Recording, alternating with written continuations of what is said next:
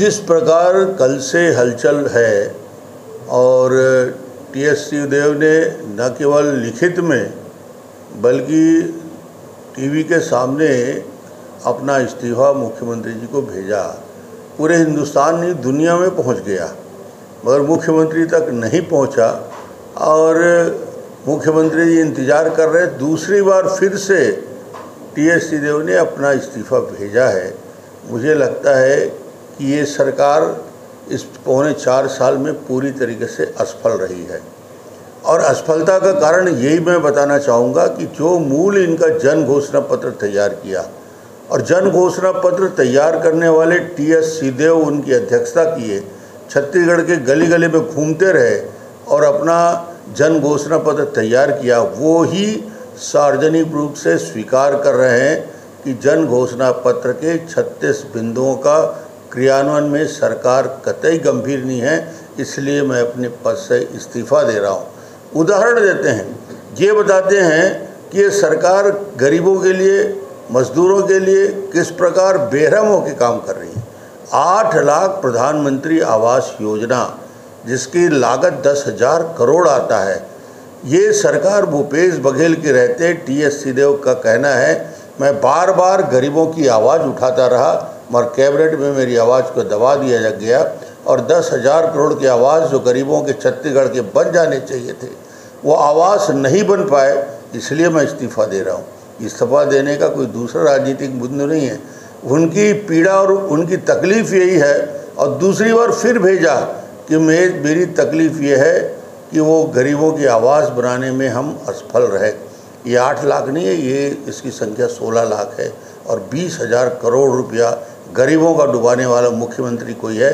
हिंदुस्तान में एक लौता मुख्यमंत्री है, जो भूपेश बघेल है, जो लोगों के लिए पैसा तो लुटा रहा है कोयले में, मगर गरीबों की आवाज़ बनाने के लिए उसके पास न समय है, न योजना है।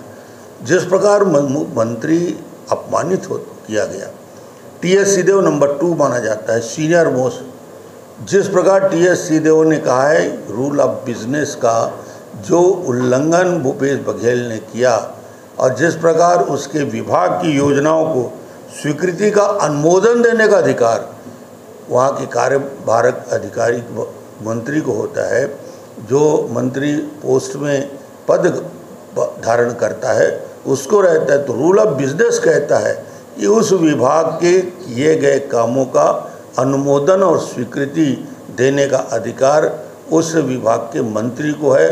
मगर भूपेश बघेल ने टी एस सीदेव को अपमानित करने की नीयत से उन्होंने इसमें चीफ सेक्रेटरी की अध्यक्षता में सचिवों की समिति बना दी और समिति की बना के मंत्रियों के, विधायकों के, अन्य लोगों के प्रस्ताव जो टी एस देव के पास आए थे 500 करोड़ के, उसको चीफ सेक्रेटरी ने स्वीकृत दिया। ना कि भूपेश, ना कि टी एस देव ये स्थिति में किसी मंत्री का अपमानित होकर व्यथित होकर, पीड़ित होकर जब रूल ऑफ़ बिज़नेस को पालन नहीं हो रहा है तो उसका कहना है कि मैं इस विभाग के मंत्री रहकर क्या करूँगा और जनप्रतिनिधियों के काम नहीं कर पा रहा हूँ। दूसरा, आवास तो एक बड़ा घोटाला है। आवास के बाद दूसरा है 500 करोड़ की राशि का उपयोग नहीं हो सका। तीसरा आरोप, पैसा को लेकर है। पैसा कानून के लेकर उस कैबिनेट में बैठने वाला सीनियर मोस्ट मंत्री कहता है कि जो पेशा के कानून का, उनके ही शब्दों में जो प्रारूप कैबिनेट कमेटी को भेजा गया था, जिसके अनुसार चर्चा हुई थी, जिसमें जल, जंगल, ज़मीन से संभित महत्वपूर्ण बिंदुओं को बदलकर कैबिनेट की प्रेसी को शायद पहली बार बदला गया है। ये मेरा आरोप नहीं है। ये आरोप छत्तीसगढ़ सरकार के नंबर दो के मंत्री टी एस सिद्धेव आरोप लगा रहे कि पेशा कानून में जिसमें जल, जंगल, ज़मीन का अधिकार आदिवासियों को मिलना था, उस अधिकार को तोड़ने का काम भूपेश सरकार ने किया है। और ये दो वर्षों में जो मैंने मेहनत किया है, उस मेहनत को मुझे पीड़ा है और उससे हट रहे एक और गंभीर विषय की ओर ध्यान आकर्षित कर किया उन्होंने। उन्होंने कहा कि ये सरकार के मुखिया साजिश करते हैं।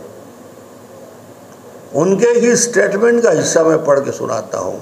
एक साजिश के तहत रोज़गार सहायकों से हड़ताल करवा कर, देखिए कितना बड़ा आरोप है। इस आरोप के बाद इस सरकार को एक सेकंड रहने का अधिकार नहीं है।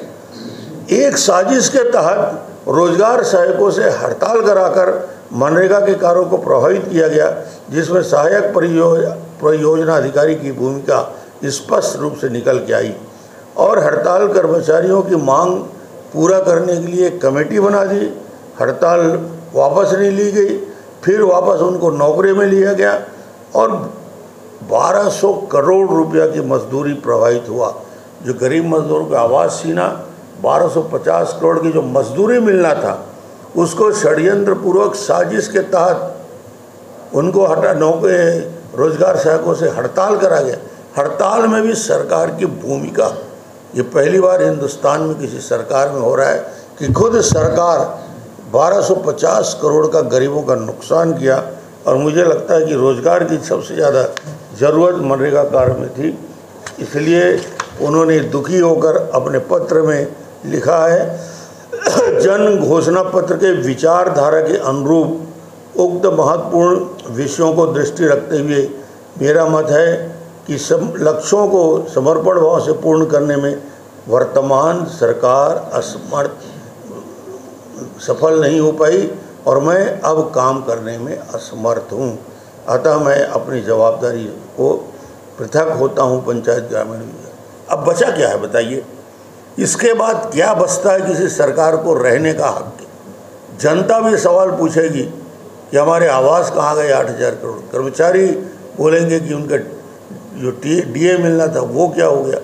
इनके लिए जो आंदोलन हुआ साजिश के तहत इन सारे विषयों को लेकर ये आरोप पत्र है।